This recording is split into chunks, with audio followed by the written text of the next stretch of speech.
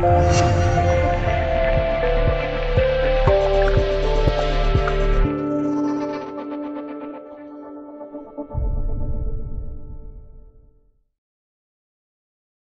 统计，北京保险行业协会自二零一三年开展诉调对接工作以来，共接受法院委托调解案件一千三百余件，涉及金额逾二点二亿元，案件调解协议率和履约率均为百分之一百。去年三月，北京保协在北铁法院设立了北京保险行业保险合同纠纷调解委员会北铁诉调对接调解室，简称北铁调解室。据了解。自开设北铁调解室以来，北京保协共接收委派案件三四零余件，组织行业调解员三百三十余人次参与调解，调解成功幺九零余件，涉案金额约五千五百万元。所调解的案件涵盖了车辆保险、重大疾病保险、医疗责任保险、团体意外保险等多个险种纠纷。三天结案三十三件，多元调解史上快车道。二零一八年六月二十五日，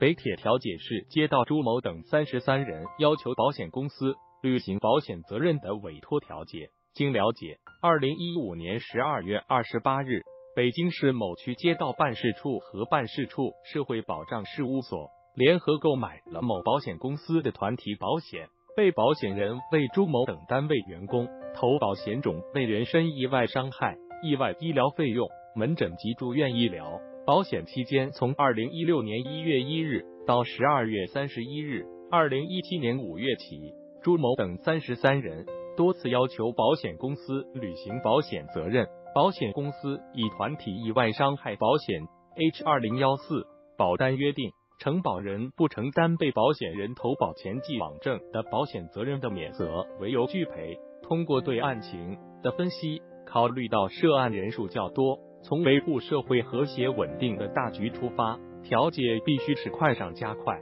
行业调解员如是说：“我们与双方当事人经过多次沟通，了解了事情的来龙去脉和双方矛盾的争议点，当天就制定了调解方案。”据悉。被告出具的团体意外伤害保险 H 二零幺四保单中确有承保人不承担被保险人投保前既往症的保险责任的免责约定，但朱某等三十三人原告已投保时对免赔设定及特别约定，被告没有做明确约定而发生纠纷。针对争议焦点，北铁调解室提示被告保险公司，业内之前发生过类似的纠纷案例，经中院二审判决认定。保险公司未向投保人履行免责条款的明确说明义务，故免责条款对被保险人不产生效力。朱某等三十三人情况与法院的判决情形相似，保险公司败诉风险极大，建议保险公司正常赔付。行业调解人说，同时提示原告自费医疗部分的金额是不属于正常赔付范围，且不属于争议的既往症范畴。建议放弃该部分的诉讼请求。六月二十八日，北铁调解室多方协调，集中办理，现场签署调解协议，原告撤诉，一揽子解决了朱某等三十三人的医疗费保险纠纷案。自此，纠纷在短短的三天内即画上了圆满的句号。这些原本需在诉讼阶段实施的耗时耗力的工作，均在诉前圆满解决，有效缩短了纠纷化解的时间。节约了有限的司法资源，避免了当事人对簿公堂的尴尬，更加人性化，同时也使多元化解纠纷驶上了快车道。细心、耐心、责任心，让调解更有温度。日前，北铁调解室迎来了一位特殊的客人，他拿着“知百姓冷暖，为百姓解忧”的锦旗，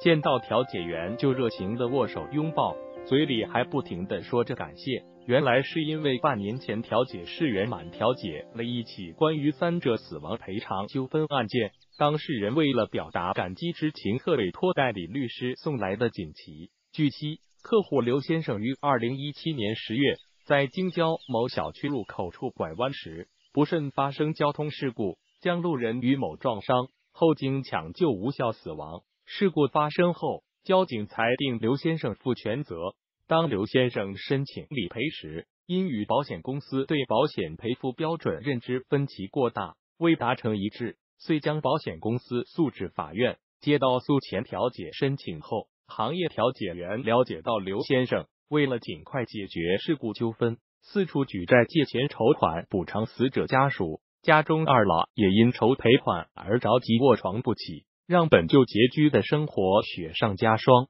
以为保险可以分担全部责任，但却不能如愿。双方针对死亡理赔标准这个焦点问题仍各执一词，使得调解一度陷入僵局。此时，调解员意识到要破除这个僵局，除去案件本身的争议，更多的要用理解的心与刘先生交流。调解员耐心的向刘先生讲解了保险条款中对于交通事故人员伤亡理赔如何约定，设身处地帮其分析公司给予的调解方案，权衡利弊，同时也向保险公司指出，根据现有证据材料及相关政策，如果继续与原告就此焦点僵持下去，进入审判阶段，公司败诉的可能较大。在调解员的不懈努力下。双方的言语中不再有对抗的情绪，面前的法律条款也不再冰冷，而是有了更多温度。就这样，刘先生与保险公司最终顺利达成了和解协议，满意的离开了调解室。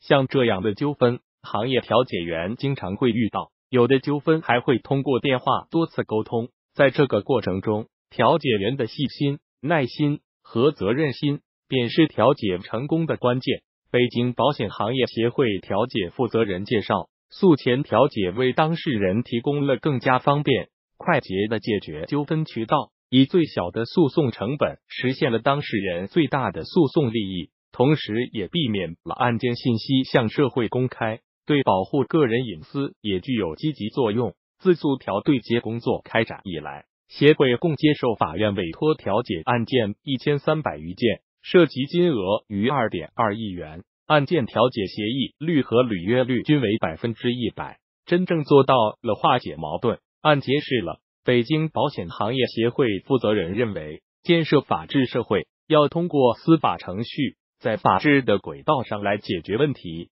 这并不意味着什么纠纷都要对簿公堂。保险纠纷调解这种方式符合中国文化传统，效果也好，一法一和。正是贯彻依法治国和以德治国相结合的具体体现。本文源自北京保险行业协会一点金融整理发布。